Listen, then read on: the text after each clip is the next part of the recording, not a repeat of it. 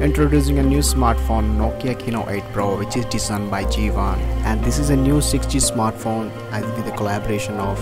a Fever a really cool design by him so keep watching.